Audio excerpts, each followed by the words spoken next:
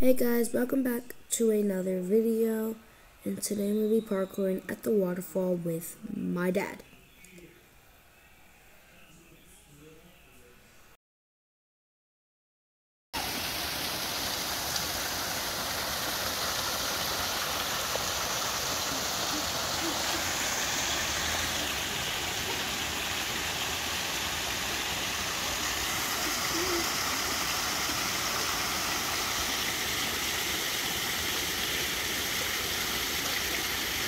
Mm-hmm.